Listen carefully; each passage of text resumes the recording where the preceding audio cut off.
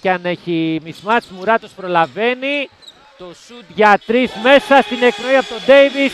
Ένα μπάζερ τρίποντο. Weak side, ο Ντέιβις για τρεις. Ελεύθερο τρίποντο για το 40-34. Όμως, το Λαύριο ο Άλμαν αμέσως τον Ντέιβις. Ποστάρει τον Kingsley. Θα τον νικήσει για το 42-37. Το Λαύριο έχει πάρει και τα rebound πλέον. Ο Ντέιβις το lay-up για το 50-39. Συν 11. Κουράτος κερδίζει και πάει για το καλάθι. Ντέιβις στο κάρφωμα 73-61.